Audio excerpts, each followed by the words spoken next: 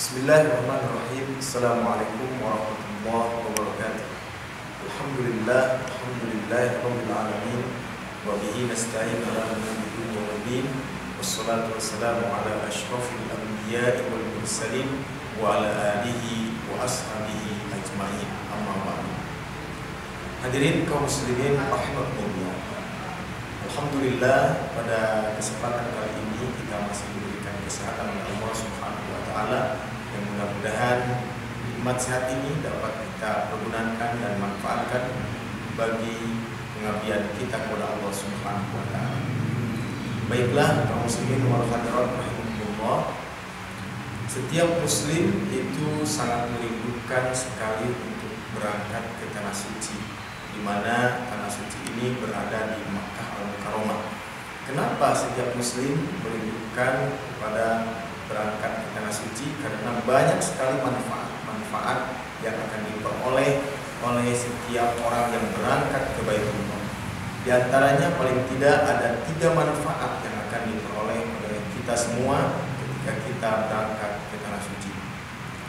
Yang pertama, ibadah umroh itu adalah merupakan jihad sebagaimana ibadah haji. Rasulullah Shallallahu Alaihi Wasallam pernah didatangi oleh Aisyah dan Aisyah bertanya kepada Rasulullah SAW, Ya Rasulullah, ala nisa'i jihadun? Wahai Rasulullah, apakah wanita itu wajib berjihad? Maka Rasulullah SAW menjawab, Naam, iya wanita itu wajib berjihad, tetapi tanpa ada peperangan, yaitu ibadah haji dan umroh. Hadirin kaum muslimin rahimahullah. Jadi umroh merupakan jihad di jalan Allah sebagaimana ibadah haji. Yang kedua, manfaat dari ibadah umroh itu dapat menghapus dosa-dosa kita. Rasulullah Shallallahu Alaihi Wasallam pernah bersabda, al umrotu ilal umroti kafaratun lima bainahuma. Bahwasanya, bahwasannya ibadah umroh yang satu dengan umroh yang lainnya itu dapat menghapus dosa di antara kedua umroh itu. Hadirin ikhwatul iman rahimahullah. Yang ketiga, manfaat daripada umroh itu adalah dapat menghilangkan kefakiran.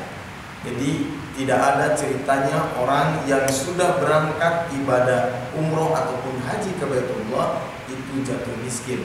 Tapi sesungguhnya justru banyak sekali kaum muslimin yang ketika berangkat umroh kemudian pulang lagi ke tanah air justru malah diberikan rezeki oleh Allah yang berlipat ganda bahkan kenikmatan kenikmatannya semakin berlimpah ruah.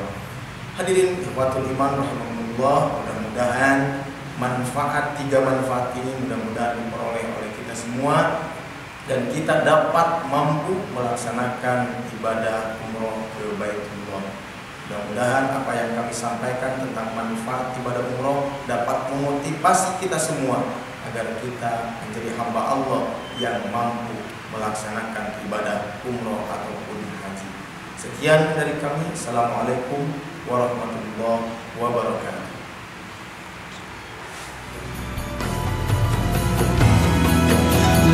لبيك اللهم لبيك لبيك لا شريك لك لبيك.